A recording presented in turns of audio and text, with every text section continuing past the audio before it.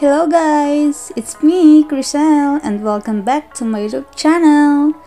For today's vlog, I will show you kung gaano kaganda ang Germany pagdating sa mga Alps or mountains.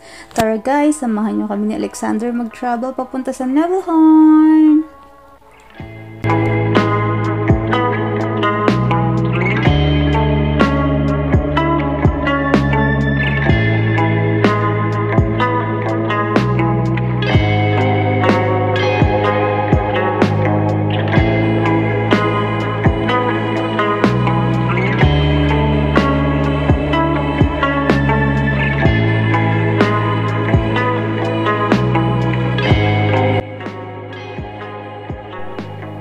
Um guys, huwag niyo na nga pala pansinin etong dumi sa glass and window ng car ni Alex. Pasensya na kayo, hindi pa kasi kami nakapagpa-car wash ng time na yan.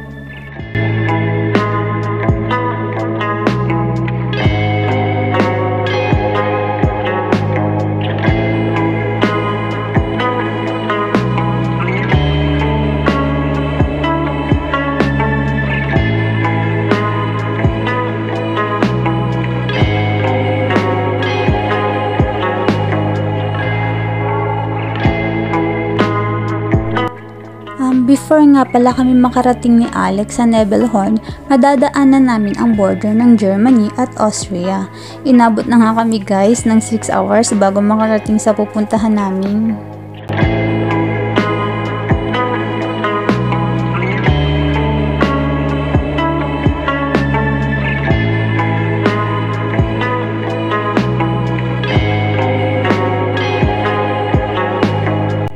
Tingnan nyo naman guys, napakaganda. Lalo makikita mo yung kalinisan at kagandahan ng lugar na ito kapag color green at white lang yung makikita mo.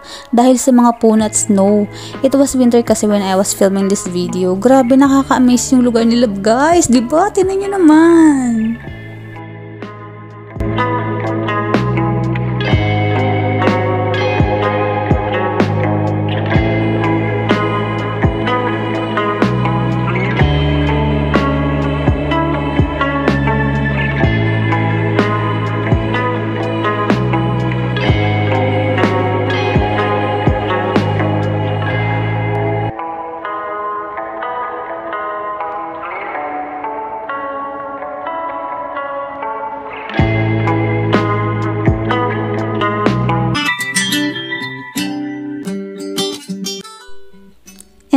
Here we are. At ayan, nagpicture na nga lang ako guys sa labas dahil hindi na ako nakapag-video while buying tickets kasi napakaraming tao sa loob which is mga tourists din from different countries. At eto na guys, sumakay na nga kami ni Alex sa cable car. Grabe, sobrang ganda at napakasarap pala sa feeling kapag nasa taas ka at nakikita mo yung kabuuan ng paligid or lugar. At ayan nga guys, tingnan nyo naman, sino bang hindi mo mamangha kapag ganyan matatanaw mo, di ba?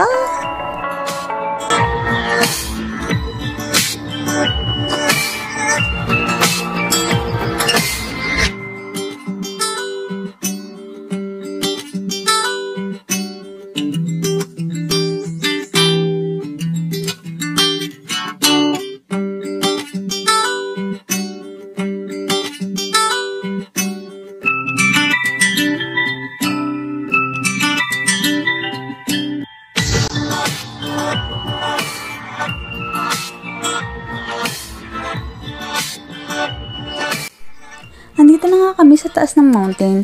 At konting kalaman lang guys, alam niyo ba na ang Nebelhorn Mountain is um, 2,224 meter high sa Allgäu Alps dito sa Germany na kapag kinonvert mo sa feet is about 7,296.5879. Ayan na, kahit pa paano may natutunan din kayong konti sa akin na.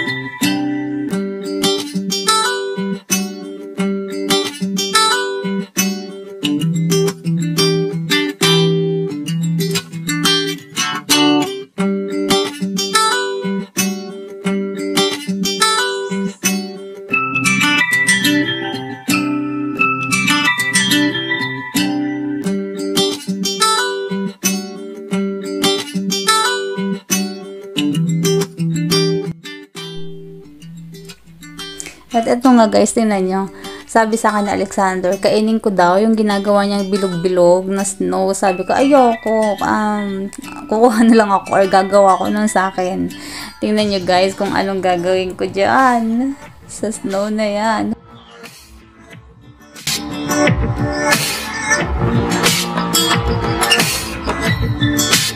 In